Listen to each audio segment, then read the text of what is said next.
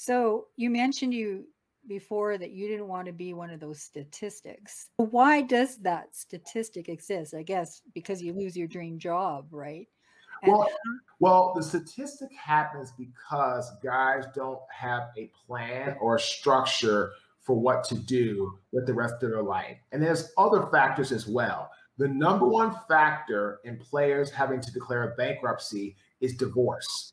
You know, and that's because the players have been used to having a job, having a purpose, having a reason for getting up, and they go do that in the NFL. When you're out of the NFL, you don't have that structure. There's no one telling you where to go, where to be, when to practice, when to eat. You know, you don't have that. So then it ends up being a little bit of a sometimes state of depression, state of anxiety. And what do they do? They come home and they try to bring that same attitude, depending upon who the player is, of running the household the way sometimes they were running things playing football.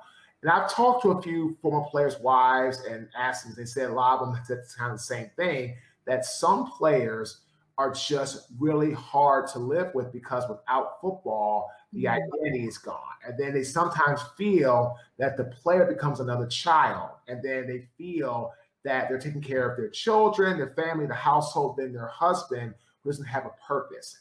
And because of that, there's a disconnect at times, things can go awry. And then unfortunately, divorce happens. And there's a high, I think I saw, uh, I think the statistic is within three years of retirement, like between 70 to 75% of African American football players, NFL retired players, get divorced. It's not just the NFL; it's it's also in the NHL too. Sure, I, I know that other sports go through the same thing, and it's it, it's the divorces, all of that. Yeah, it's it's uh, and it, and if left unchecked, that pain can fester for a long time. Absolutely, it can. So, you know, for me, I went through the same process. You know, after all that, April 2013 to September 2013, it was really hard. And I worked a couple different jobs, got fired from jobs, had to become an entrepreneur. And, you know, my my wife gave me basically an ultimatum like, hey, Marques, you know, you need to get up off this couch, take one day to sulk in being fired from two jobs in the same week, and then start back up again.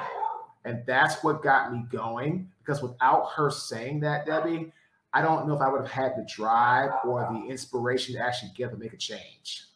Bonnie sounds like your superhero. She's the one that saved saved she, you from the she, she, she pulled you up from the ashes. she saved me from myself and allowed yeah. me to rise out of the ashes. Very well said.